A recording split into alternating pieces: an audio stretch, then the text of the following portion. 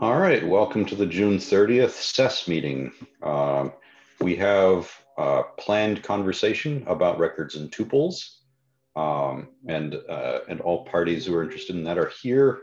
Um, uh, I will leave it to Mark. Mark, would you like to make an announcement about SES? Yeah, uh, so there's uh, actually uh, two things going on. Um, uh, the big one is the Festival that's coming up. Uh, the, uh, that is a group of people that are going to be gathered for a full week in Dean's House, which is also the um, what, what was before COVID, the Agoric headquarters as well. In any case, we'll all be, now that we're all vaccinated, we'll all be gathering for a full week. Uh, this is uh, several folk from MetaMask as well as Agoric um, uh, in order to attack the core of the SES shim, to try to find flaws, to try to attack it, to try to um, uh, uh, just do, a, do a hardcore attack review, as we call it. And that's uh, every attack review I've lived through before has been a hellacious and incredibly productive experience. And it's going to be uh, an immersive week, which is the right way to do that, um, where we just all do this in the same place at the same time in, in a full-time manner. Uh, the other thing that's going on is that um, uh, Least Authority is a security auditing firm very active in the blockchain space, and they'll also um, uh, they are do, starting a audit of SES and examination, critical examination of the SES shim. And least authority, as one would guess from their name, uh, is um, uh, an organization that already knows about issues of capabilities and capability security model and least authority. Uh, and some of the people who are um, uh, prominent in that uh, area will be part of this audit effort. So, so we've got some good critical examination going on. Awesome. The uh, other point is something that, uh, uh, thank you, Alex, for keeping these up to date. I believe that you are the one who leaves these notes in our agenda. Uh, that uh, this is the last SES meeting before the submission deadline for topics for the next plenary. Um, I think that we are pretty, we know what we're going to talk about next time at plenary. Uh, Leo, are we, um, are we going to see realms come up for another round of conversation um, probably next week. I'm try. Um, I'm just back from a more than a week long uh, vacation. Mm. I'm reaching out to Jordan, but I still need to get him to to answer. Like, I've had a follow up after that meeting. Uh, just a quick heads up. I had a follow up after that meeting. I talked to Jordan, um, trying to get to the next steps. Jordan wanted to wanted to understand more, and he he said he would love like to see like some uh, polyfill implementation with an actual membranes framework uh, on top of that. And we actually had those. I just had to send the links separately. Um, I'm not sure if that's like good enough for what he wanted to, to see. Um, but I still like, I still try to get uh, him to uh, to tell me uh, what he, he thought about that. That that happened before uh, vacation time, and now I think he got he got more, more than ten days to to look at it. Uh, if not, I hope he does it uh, this week, and then we can get like some other update in the next week. He wanted to see a membranes framework uh, working with that realm, and I show like, hey, here we uh, we have a membrane. There is basically uh, the same membrane structure that uh, Caridy uh, did with the near membrane, but it's just adapted for, for this one. It's not the com full complete membrane system like all the things that we have for and we are using for Salesforce right now. And also that the, uh, the polyfill is pretty complete in the terms of where we use evaluate. Uh, but of course, um, I'm not getting that uh, frame uh, the, the polyfill with the import due to like so many uh, entanglements that we would need to to to have to implement uh, the import uh, value part. Um, in a polyfill, like in a real world, would, wouldn't be amazing. But we have those parts, and uh, we wanted, and the, the parts are working and they're working together. I have the polyfill working, uh, the membrane framework working on the top of polyfill, and I have another example of the this membrane framework uh, using an iframe directly, and the results are the same. I just switch uh, from one thing to another, the results are the same. Um, this is like this is a part that I like I, that gets me satisfied with this membrane framework implementation with the polyfill and everything, because I'm still getting the same results. I'm being able to uh, verify those. I have plenty of tests for the polyfill. I have more sort of like manual tests for this membrane framework, uh, but that I just need to run directly uh, to to verify results. But uh, they seem okay, and I hope Jordan sees it uh, sees it the same way. Let's see how it goes uh, for the next week. Awesome. Oh, with that, let's uh, let's dive into the um, the oft postponed topic of the day. Uh, uh, Robin, I believe you're leading. Yes. Uh, sorry, my external webcam is not functioning properly, so I'm not going to look at you. All right, sure, I can, I can try. Uh, yes, so the idea that we have um, to, so, so last time we were kind of um, stuck on an objection, I guess, from Mark about boxes um, and how they interact with realms. So today we would like to propose the following and then uh, get some feedback on it and, and, see if that, that's going to be a design that's going to play nice uh, with uh, realms. So the, what we're proposing today is to change the behavior of boxes uh, if they want to pass through um, realm boundaries. So we would essentially uh, say that you should throw if you try to pass a box uh, across a realm boundary to another realm. Um, the reason for that is that from our point of view, in record and tuple, we are more interested in the uh, developer experience aspect of the box rather than having that as a tool to transmit to another realm. If you want to transmit um, that kind of data, uh, so that means uh, objects uh, inside of a record and tuple structure, you might as well use a membrane to do that. Um, and you don't need a box. So essentially, the proposal is if uh, the Realm API see a box, they, they can throw. And how we uh, intend to give you that uh, possibility of checking is through uh, an abstract operation that we have written in the spec that's called recursive uh, contains box. So that's uh, part of the record and tuple spec. So yeah, you can, or we can add uh, that check to um, to uh, realms in order to make sure that this that any structure doesn't contain any boxes, etc. So you're saying any structure beyond just records and tuples? Uh, it would be. I mean, maybe maybe I can explain. Uh, I think this, this we kind of jumped into a lot of details. So that the model is we have records and tuples, which are which are primitives, but they can contain boxes, which which can can have objects. So yeah, there's that, a fundamental operation box dot contains box, something like that. It would be something different that says whether something contains a box.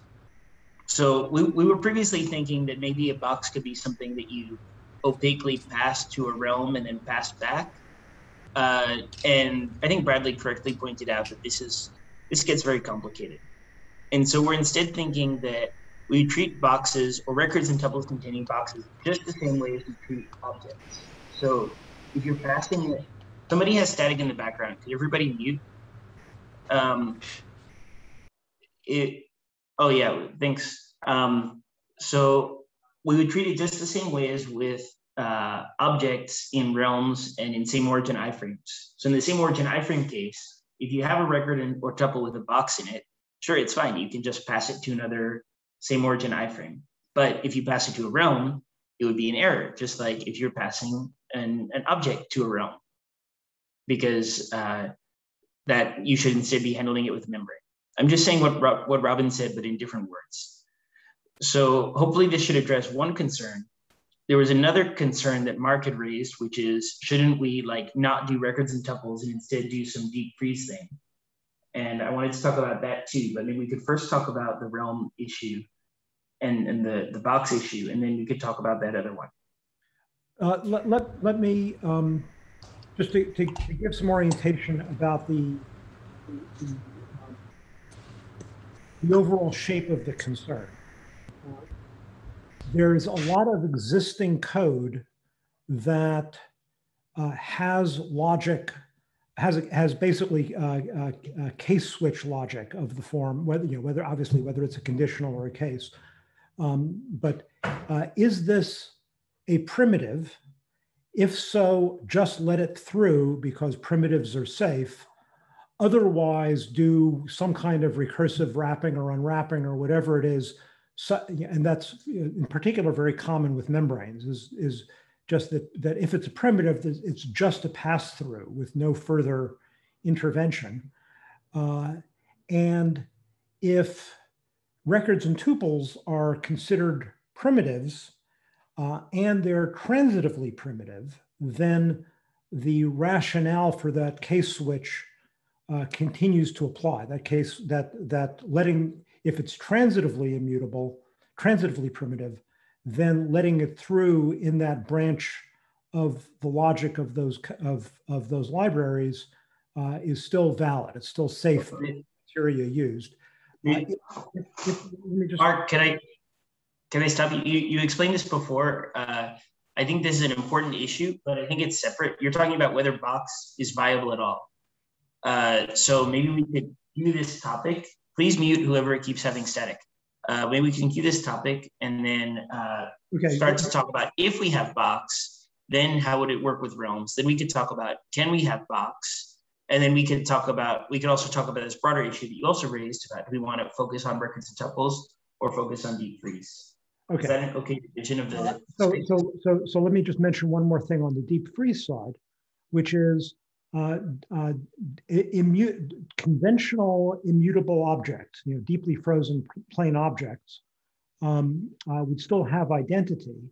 Uh, in thinking about your proposal from last time about whether we can conceive of records and tuples not as primitives, but as objects that are both immutable and without identity, uh, a concern that I have there, not necessarily fatal, but something definitely to, to examine, uh, is uh, that means that now there are objects that are considered to be objects, not primitives, that cannot be keys in weak maps, uh, and that you cannot have weak references to. So it, ju it just kind of explodes the state space of combinations of objects versus non-objects versus keys versus not keys. Uh, so, so that's it. I've, ra I've raised the issues I wanted to raise. Okay, I, can we come back to that second issue also after we? Yeah. Yeah, I just want to. Yeah, let, let,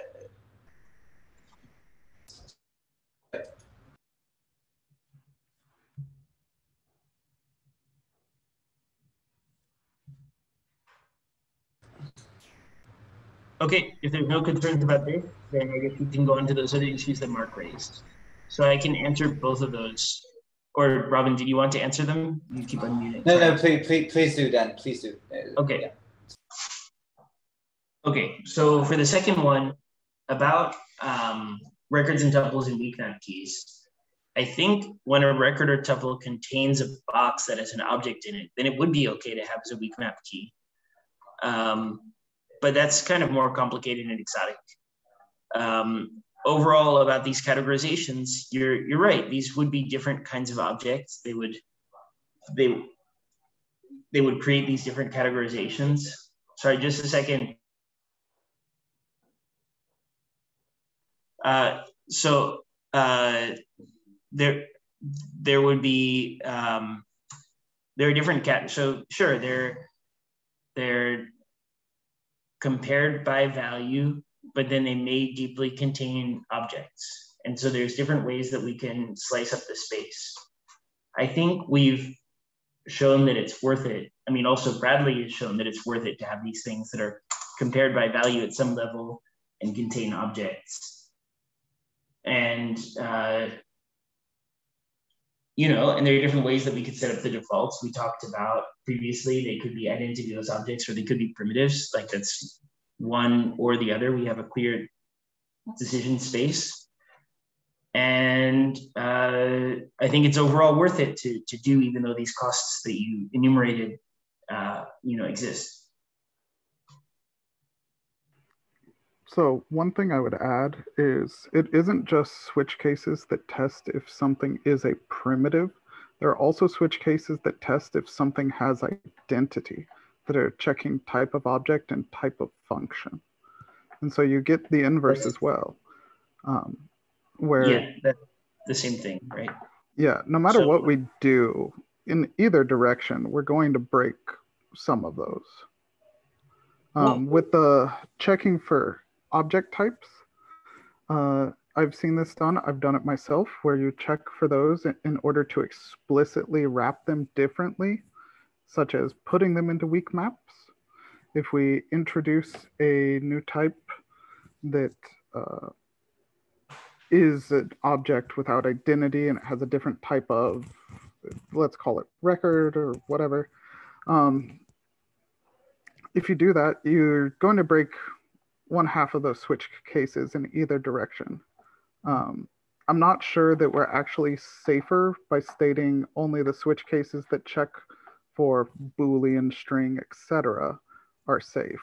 Um, I don't think that's actually true right now because we've introduced more primitives over time. We've never introduced more identity over time right. for type of. And so I generally code with the pattern of checking for identity types because I don't know if primitive types are going to expand over time. So I have yeah, the kind of opposite approach of yeah, just, just, I guess that's that's what I assume Mark was getting at. That these would need to be type object if they might contain an object. Uh, uh, yes, that is what I was getting at. That that general the the so there's obviously there's all sorts of different ways that people write these switch statements. Uh, the one that I've found myself writing a lot and the one that I've seen a lot are the following um, uh, uh, using an if capital object of x triple equal x as a primitive test, which basically says uh, if it's a primitive, then capital object of it uh, creates a wrapper, which is not the same as the thing itself. Uh, so if capital object of it is the same as the thing it is itself, then it's an object, not a primitive. So that's that's one pattern I've seen. Uh, and uh, uh, Kris Kowal will be quick to point out that um, Crockford, or, or Chip maybe, that Crockford uh, uh, is really quite horrified about that pattern. But uh, nevertheless, I've used it and I've seen other people use it. The other one, the, well, the other two is a complete enumeration of all the normal type ofs with a default that says, uh, oops, there's a type that I'm unfamiliar with, so throw. So that code is in some sense safe against any introduction of a new type of, uh, safe in the sense that it will fail safe. It won't get misled into doing something that's, un, that's silently unsafe. Uh, and then uh, the remaining one uh, is the one that Bradley brought up, which is uh, assuming that the object types are exactly type of X triple equal object and, and uh, X is not null, and type of type of X triple equals function. So if it's uh, any string other than function or object, it's assumed to be primitive. And, and I've both written that and I've seen that. Um, so, uh, so given that, and given the security assumptions behind making those tests, what I would say is that the uh, is that of the possibilities we're talking about, um, the ones that are not safety breaking uh, would be that records and tuples are introduced with new type ofs and are transitively primitive. That would not break any assumptions of such code. Uh, or that we support, uh, we have provide good language support for um, uh, transitively immutable object structures with identity. And then those are simply type of object because they're, they're simply objects within the existing object model, uh, but we, we provide better language support like purify primitives or harden primitives or whatever, or maybe syntax, uh, provide better pr language primitives for knowing that you've created uh, transitively immutable object structures. Um, okay. So and everything between those two, I, I think, is problematic. Can you elaborate on what you mean by this purified primitive? Because I actually, I've only heard very vague descriptions of it. I really can't imagine how it's going to solve the equality problem, how it's going to allow structural comparison. Okay, it won't solve the equality problem. So if the equality problem is the driving problem, uh, let's let's let me talk about that some.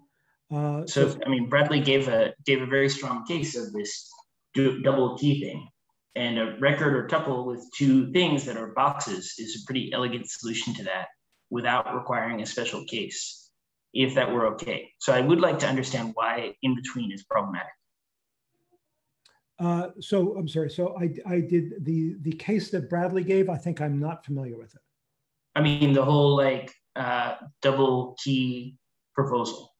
Like it's a whole separate proposal that would be kind of subsumed by records and tuples with boxes.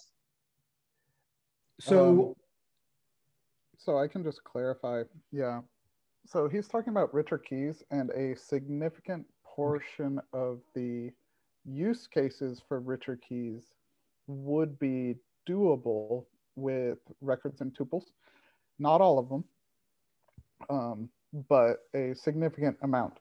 In particular, the use case I am interested in um, for records and tuples is not uh, affected by having box inside them, but I have seen comments on my other proposal uh, that people want to get those kind of keys of multiple component parts done easier, and that would be solved with box. So let, let me make sure I understand. The idea is that um, uh, so first of all, you're, you're trying to allow these both as weak map keys as well as map keys. Is that correct? Uh, for richer keys, the intent was to allow weak map keys. For records and tuples, I don't know the actual champion stance. You would have, they're here. Well, I was, I was just suggesting that they could be weak map keys as well if they contain boxes. I don't see why that wouldn't work. Um, um, uh, they, it would also work if they contain symbols, correct? Uh, if we have symbols as weak map keys, but that was not accepted for stage three when it last meeting because use cases were not sufficiently persuasive.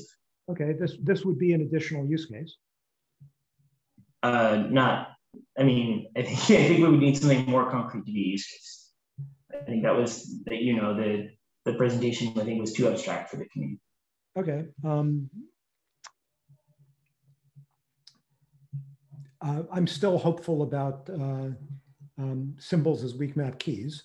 Um, the uh, in any case, uh, uh, um, whatever the the current status of uh, advancement in the committee, technically, symbols as weak map keys mean that records and tuples containing symbols uh, could also be weak map keys with the advantages that you're talking about. Uh, yeah.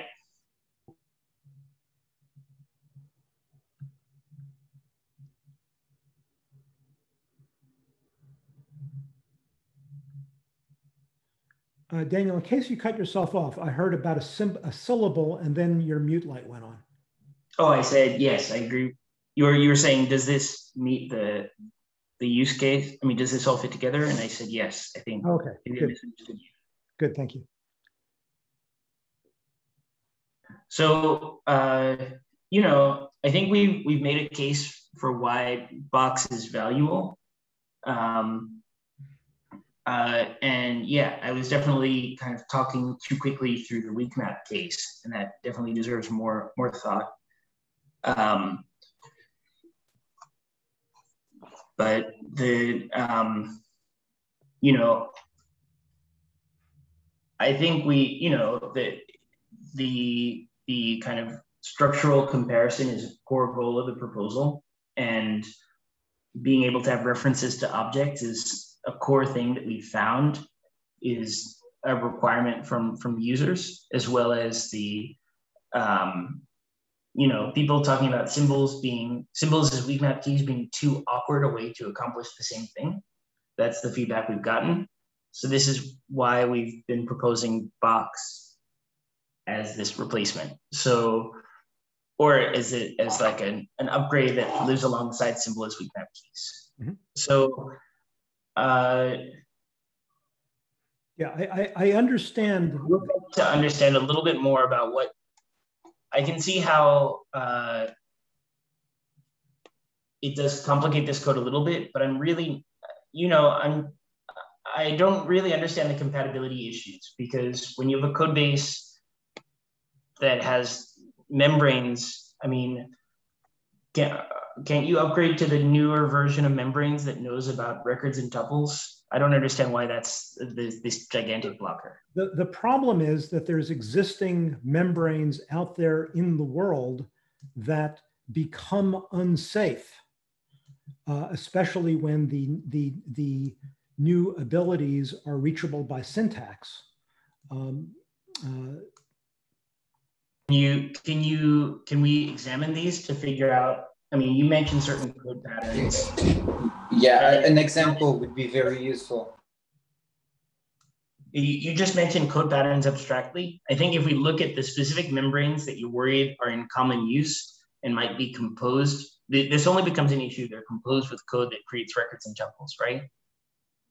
Um, it, it, so, um, if, the, if, if, if, the if the code on either side of the membrane is creating a you know is creating right records and tuples, and then that's being passed through a membrane that's ignorant of records and tuples and is using one of these code patterns, then it will allow the record and tuple over to the other side of the membrane uh, without wrapping and unwrapping it, and thereby uh, not intermediate the box. Okay, so uh, Right. So one thing we could do is we, we talked about the identityless objects, and the thing that you thought was bad about those is that they can't be weak map keys. Mm-hmm. Uh, but I imagine that if you try to use them as a weak map key, they would throw an exception. So what would the problem be? What would the security problem be? So that the the the weak map having them not be weak map keys is not that itself is not a security problem. Uh, uh, that and it's um, uh, that is just a complexity of the language problem in that now we've got primitives that um, can't be weak map keys. We potentially have primitives that can be weak map keys. We have objects that can be weak map keys, and we have objects that cannot be weak map keys. It's just, it makes, um, I mean, in some sense, I suppose it makes it orthogonal, which could be thought of as simpler, but it's, it's certainly um, uh, a lot, it makes the language have a lot more to explain in terms of understanding the case analysis of what you need to do to deal with all the value types in the language. Okay, so uh, I can see how these are downsides, but I'm not quite convinced that they're like fatal flaws.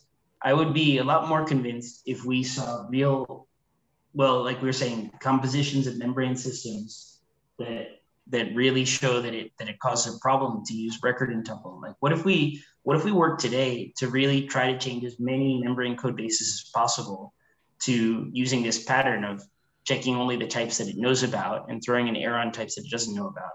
Would we be able to deploy updates over the next two years, say, before records and tuples come out?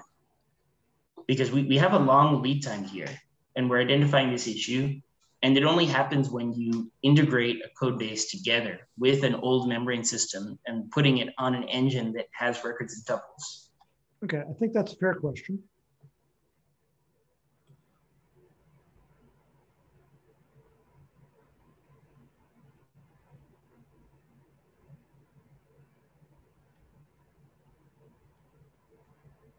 So do people with experience, I mean, including Mark, people who deploy membrane systems, do you think it'll be practical to to make this kind of change to the to the type checking?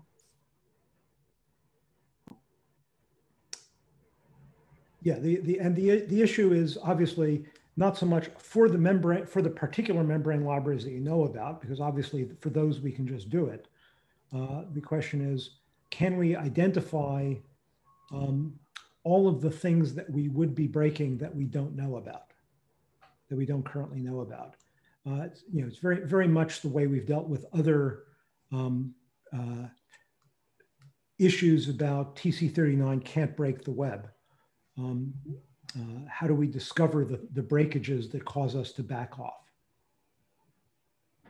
And this one's harder because the kind of breakage we're worried about is the silent unsafety, whereas generally the way we discover things that cause us to back off is because something visibly doesn't work.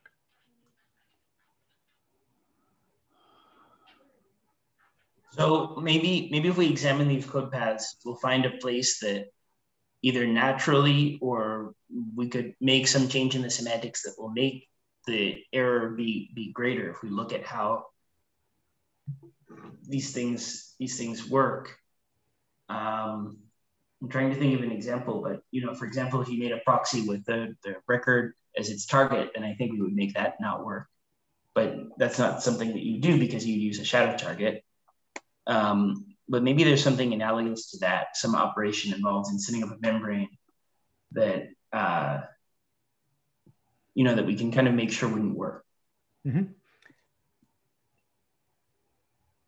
That's that's an interesting question. Yeah, if there is some some way to introduce all of this such that uh, old code fails safe rather than silently becomes unsafe, uh, that would certainly be a big advance. This is something that Robin and I can't lead ourselves. This is something that we would need from the, the membrane community. I guess these two kind of suggestions, where one suggestion is, um, one suggestion is looking into how, um, you know, whether the type checks that you know about can be changed, whether that's practical. And the other suggestion being about uh, can we see the exact code pattern so that we can figure out if we can kind of squeeze in an error in some other place in the path?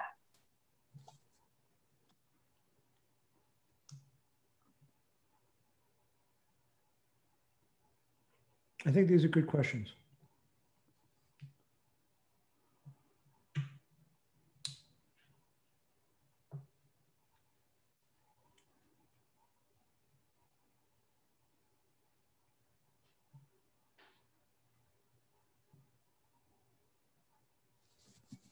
Okay. Um, thanks for thanks for talking about this. Um, yeah. Thank you very much. I, I think for now we're going to continue developing the record in tuple, or I want to suggest to, to Robin, the, the champion, that we continue developing the proposal uh, with the, you know, as it is right now for, for now, with records and tuples being primitives and being able to contain boxes because we've gotten this is the direction that the that the community feedback has has pushed us in hoping that we'll be able to resolve this membrane issue in one or both of those ways that we just articulated. And then if we run into to roadblocks with those then we can go back and revisit it. Uh, could you what, what do you think about splitting the proposals? Have member have uh, records and tuples be without box be one proposal and then have the the the addition of boxes be a separate proposal uh, which can so that all of the discussion and objections and alternatives to box can all be um, uh, uh, focused on the second proposal without inhibiting the first one. Uh, um, that's an important option to consider the main thing is that when we proposed records and tuples by themselves, we had so much feedback about the lack of box that many, many people really insisted that box was an essential feature of records and tuples. Um, yeah. We're not, uh, uh, you know, uh, we're not totally convinced. We've gone back and forth on this ourselves. I, I, I think personally that uh, it is it is technically definitely doable. We can definitely separate them Um, whether we want as champions to do it, I think we need to discuss that because there is a possibility that if we separate box, we kind of also like if we're not sure we have a way to solve those issues, we're essentially killing box. So this is something that we are um, that we need to discuss. That that's it. So I can't uh, guarantee anything just right now. Okay, I think that's a, that's a good concern. Let me let me rephrase the concern and see how re, you react to the rephrased concern.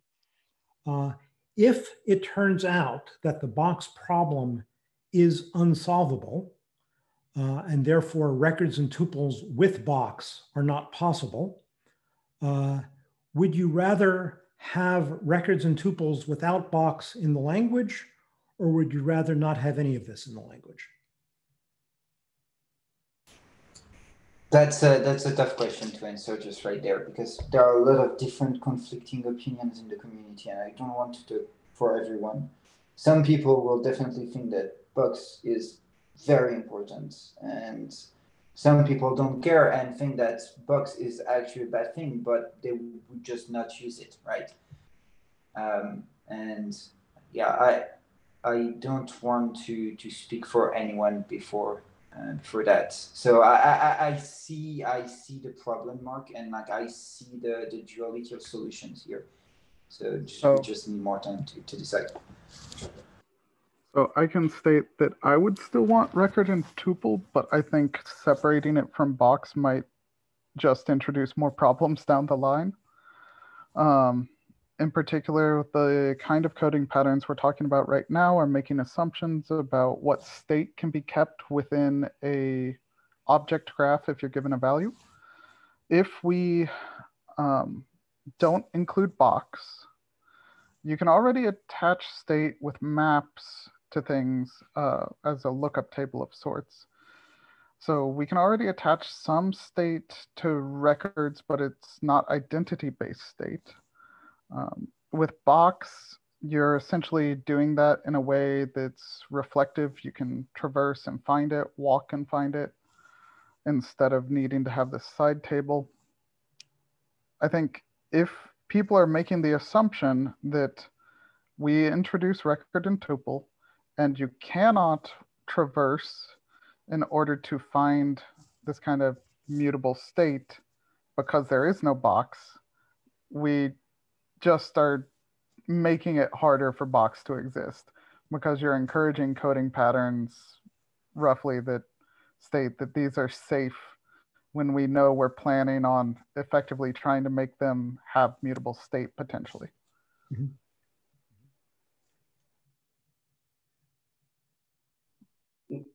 Yeah, uh, I'm not sure if I completely agree with that because we would be making it very clear to everybody that Box may exist in the future, so we can discourage that pattern. How are we uh, going to discourage it though? Well, I'm not sure because we would want people to check the contains box function, but that function won't exist yet. So there's no, it's not a great, not a great pattern to encourage people to use. Uh, but I do want to uh, kind of question a little bit the premise of the way that Mark framed this. Mark was saying, if we can't solve the box problem, I think I think we have a solution. The, the thing is that it has trade-offs, and the question is whether we want to to take those trade-offs. I mean, I think we we identified that this has to do with really concrete like things about the world, like what kinds of membrane systems are in use, and what do we care about breaking? What do we deem to be changeable and not changeable? I guess everyone here works on pieces of software that are maintained.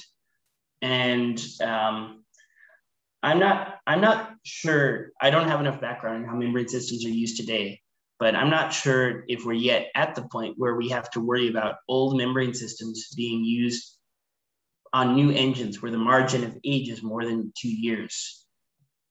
I would I would I would think that you know if you're using it in a web browser, which is the case where you know the um, you have the least control over your engine. Well two years is enough time to update your website maybe. You know you should update your dependencies over the course of two years i think. And if you're using if you're doing an embedded system then you have control over the the engine that it's running and you'll have an explicit upgrade step. Uh, just so, as as an example the um, Caja taming membrane from the Google Caja project, which is the, the you know, predecessor of modern SES. Um, it was a SES designed around uh, ECMAScript 5 era JavaScript. And the taming membrane doesn't use a proxy, so you can't, so to search for it, if you were looking for proxy, you wouldn't find it. Um, the, uh, and uh, it would, um, you know, it's no longer being maintained. There's certainly not uh, the, um, it would be very difficult to get Google's attention to try to upgrade it, um, uh, to spend the effort to try to upgrade it. Um, uh, but it's, it's, you know, it's out there, it's being used, uh, not just by Google, uh, and uh, this would introduce an unsafety in it. Okay, so if we have one particular library that we're concerned about, let's dig into its code.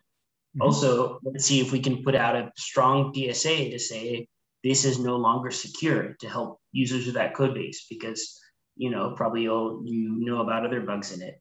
Mm-hmm. Uh, I I um, mostly I'm using it as an example, but yes, the, the particular thing should be, you know, the, the, the we should de- definitely be concerned about the particular. I'm.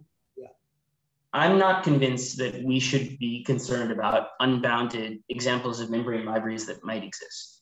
I'm not convinced that, that should be in scope for us because even when we're talking about web compatibility, web compatibility is not limitless. Sometimes you do things that have web compatibility uh, risk it's certainly and, certainly not limitless. We've we've definitely uh, you know in the in in TC39 over and over again uh, we have taken steps that have been technically not upwards compatible from the web. Uh, we've released them. We've um, uh, but we we try very hard to be careful uh, and to weigh the trade-offs. And so I certainly completely agree. These are all trade-offs, uh, but we we do try very hard and we consider a very small fraction of the web being broken to be adequate deterrence for introducing something that would break them. Uh, and we certainly take unmaintained old stuff very seriously into account with regard to trying to avoid breaking things. Yeah, so for that unmaintained old stuff, I think we take that very seriously when it's very widely deployed.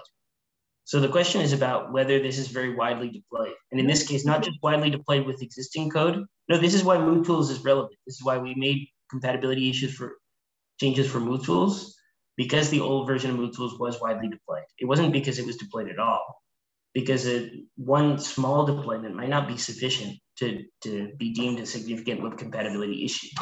So with Caja already being marked as unmaintained and no longer secure, as Mathieu uh, mentioned in the in the chat. Um, I guess our job would be to determine whether Caja or some other membrane is in a sufficiently wide deployment where it's mixed with newer engines, for example, in a web browser, mm-hmm. and newer code, for example, with user supplied code, uh, that, that this could be an issue. Mm-hmm. Um, so the I, I, think we might are you know our subjective sense of the weighting might be uh, different, but the question is completely valid. I mean, we all agree that it's a trade-off and that uh, TC39 has proceeded to do things that have, that have caused minor breakage and have certainly been deterred by things that have gone over some, some threshold. Um, so, so all of this is, all of these questions are completely valid.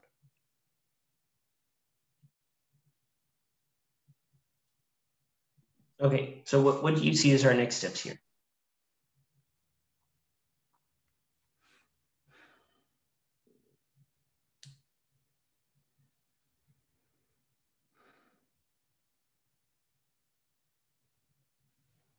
Sorry, I'm not sure if you heard me. For for next steps here, I was suggesting some uh, some investigations that the membrane community could do. Um, does anybody want to take that action item about about investigating these these legacy membranes that we would have trouble updating and seeing how they would or wouldn't fail with different record or tuple designs.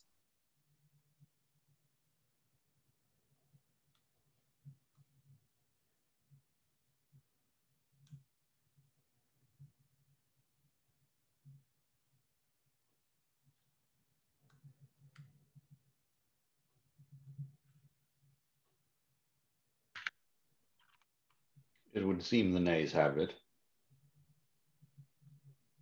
Who? Sorry? The, the, the, I don't hear volunteers.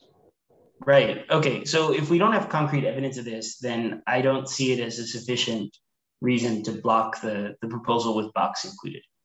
I think someone should put in the work to, to, to collect this evidence, concrete as opposed to theoretical, that this is a real risk.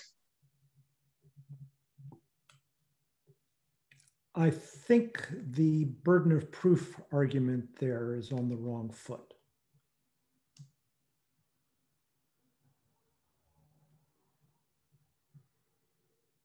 I don't see how we can collect this information. I, I, part of the issue that I'm raising is that uh, it's not clear how to collect this information in an adequate way because there's no obvious symptom of whether, whether code is doing membrane-like things. Uh, for example, it can be doing membrane-like things without using uh, the proxy constructor. Um, so, um, uh, or you know, to put it another way, something that's where it's doing this kind of um, uh, case division, where it's making an unsafe assumption is making an assumption that would be unsafe on one side of that case division. Um, with you know membranes being the the sort of the the obvious example of that highlights what kind of assumption goes with that side of the case split.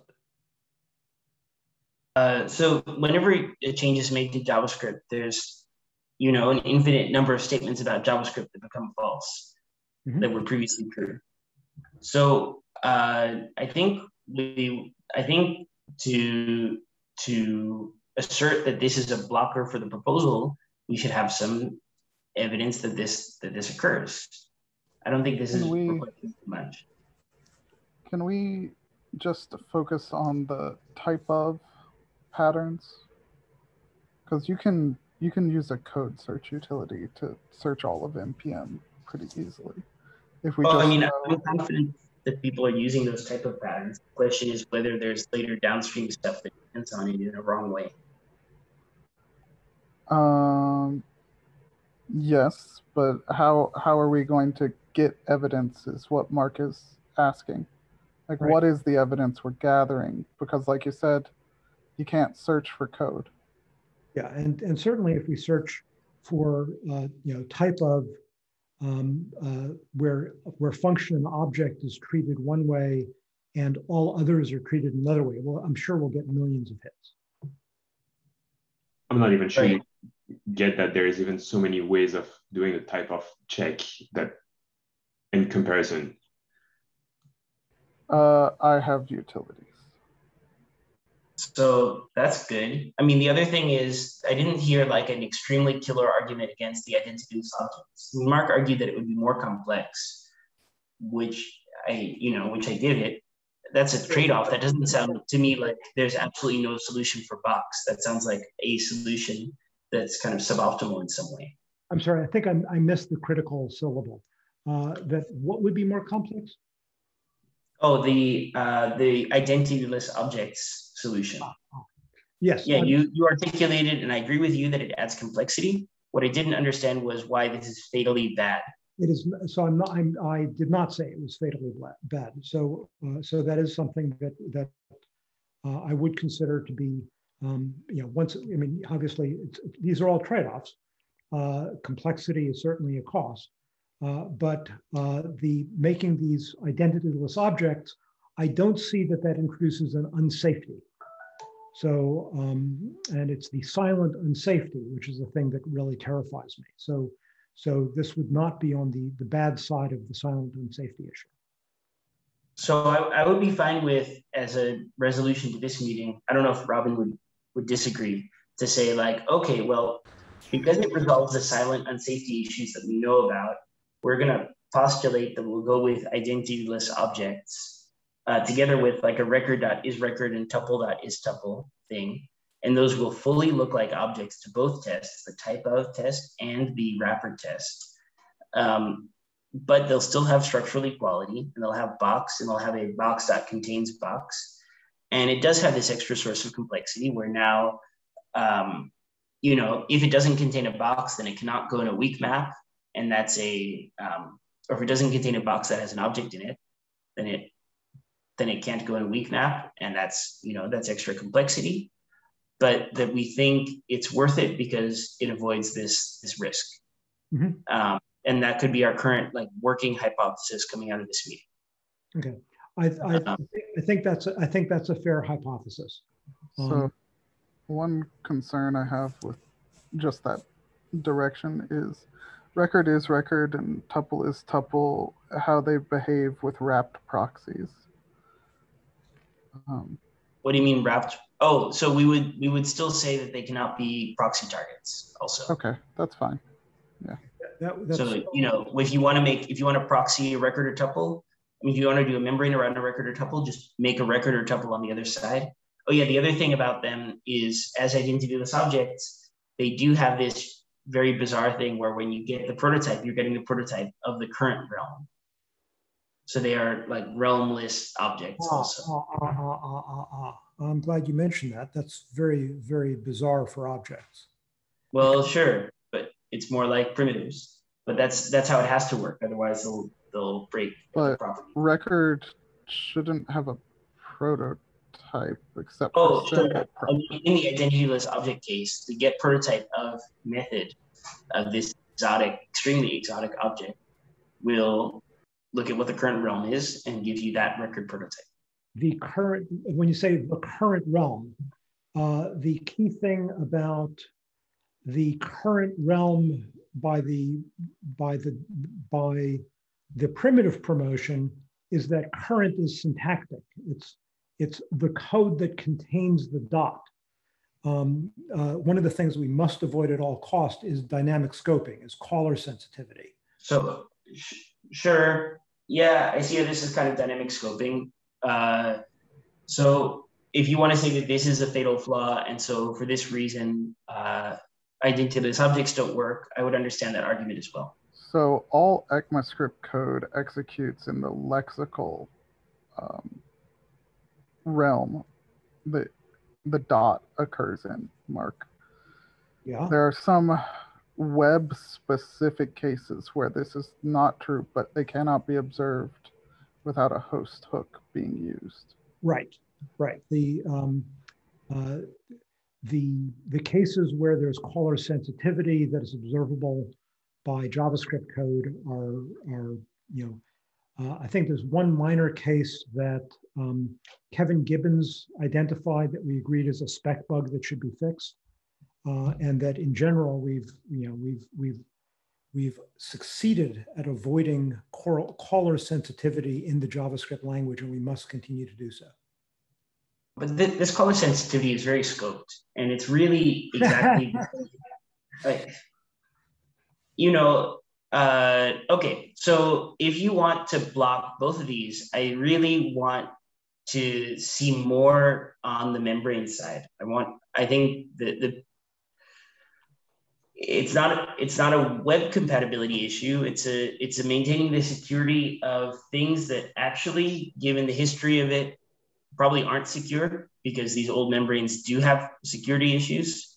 I, I do think, I mean, I, I would expect that if you have a membrane that's actually secure, then over the course of two years, you're able to update it for this type of check. Um, so I, I'd suggest that there might be more possible exploration on the other side as well. Is it necessary for records and tuples to have a prototype at all? Yeah, yeah, because they have methods. Like tuples have to have array methods on them. It's incredibly uh, user friendly compared to not having prototypes. For sure. For sure, I um, agree. With records don't necessarily need to have a prototype. We have this debate about whether they should have no prototype or not. And I think, Robin, you remember what the current draft says? Uh, current is, um, cu yeah, current is now for the uh, record prototype. I think yeah. that it could be made that tuples being struct-like, positional struct-likes might not need I mean, I agree that they would it would be useful to have a prototype, but I I don't think that it's uh, it kills the idea, and there might be an, an avenue to explore there if it's impossible to avoid having dynamic scope revealed. I don't I don't see how this reveals dynamic scope because you have to do an object, you have to do the object operation on it, and that. I mean. Uh, yeah, if that's being if that being the case, then maybe there's also uh, if it's also if there are other reasons why it avoids uh, dynamic scope, I think that that avenue continues to be viable point uh, direction for further exploration. To my knowledge, having looked at a few of these dynamic scoping things on the web, um, this does not introduce a new one. Um, we yeah. we do have some dynamic scoping on the web with the incumbent realm stuff. Uh, wait, wait, wait, wait, wait. What does not introduce a new one? Uh, the dot accessor in a JavaScript source text producing the executing realms uh, prototype for record or tuple. The dot accessor, uh, um, I, I, agree. Because the dot, but but that but that's not the only issue here. Uh, can you clarify which how you are exposing uh, a non-executing realms prototype through JavaScript source text? Non-executing the... So you're currently executing, you have an execution context in JavaScript. It's got an associated realm with it. And so that's going to give you whatever your dot accessor uh, does as a prototype. If you look up the global prototype for number or whatever. Um, I'm unclear on how you're accessing. So if you have nested realms on the web, there can be realm A and realm B. You're executing in realm B. I do know there are ways to access realm A's uh, primordial uh, object wrapping. Um, I don't know how there's not any in, ability not, not, to do it. There's no JavaScript ability to do that. Yeah. I I mean I, I share Bradley's analysis and really am skeptical that this makes things a lot worse. The other thing we could do is um, well, yeah, we, we couldn't make them type of object, but then still have like a syntactic wrapper thing going on. Um, but we could have, you know, we could have special logic in get, I don't know. A point of order, I think that we're about to lose quorum uh, since we're over time. Uh, I'd like to call uh, this point. Yeah, I can I can delegate my voice to Dan. It's it's fine. okay. But uh, if other people are leaving, then yeah. Um, do we want to continue having this conversation next week? Um, I think just I, I only am really interested in continuing it if we can find that this introduces a new kind of dynamic scoping that's not true for the other primitive types. I think there was a broader part from before. It's, you know, yeah, the, the, the, about membranes and. Yeah, the, the bottom of the stack is what is the operating assumption for the evolution of the specification. And I think that, wow. I, I, um, having brought up the next meeting, next meeting is in the middle of Festival. I, I would like to propose that we actually cancel next meeting. Or at least oh, I would like to not. That's probably wise because at least you and myself will not be able to attend. Um, yeah, let, us make let's make that official. We'll um, and then the week after that is probably uh, it is definitely TC39. So the next two weeks of SES meetings we should cancel now. Um, I'll make a note of that in the minutes. All right, I'm gonna I'm gonna stop the recording. Thank you.